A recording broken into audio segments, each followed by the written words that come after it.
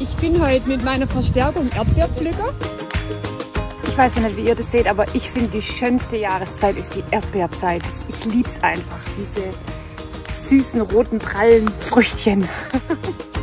Ich habe jetzt die hier für Marmelade vorgesehen. Ist halt mega. Ich kann das einfach da reinsammeln, ganz egal wie nachher das aussieht. Ich wasche dann wieder aus.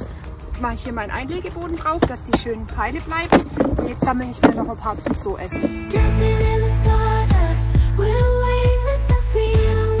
Danach hat Sabine die Rasselbande wieder eingesammelt und es ging direkt zum Wiegen. Und um euch zu zeigen, was der Korb wiegt, haben wir ihn einfach mal ohne alles gleich mitgewogen. Jetzt aber schnell nach Hause, damit noch ein paar Erdbeeren übrig bleiben wollte nur kurz zeigen, dass es quasi komplett unkompliziert ist, wenn auch der Korb schmutzig geworden ist. So sieht das Ganze jetzt aus. Jetzt fülle ich die einfach mal um. Mache ja eh Marmelade draus. Sag, jetzt seht ihr ja mal, wie das hier aussieht.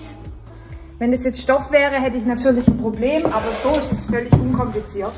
Wasser. Und jetzt Schuppi Schuppi ja, ist natürlich schon geil, wenn man das einfach so machen kann, ausspülen. Und jetzt kann ich wieder ganz normal einkaufen gehen damit.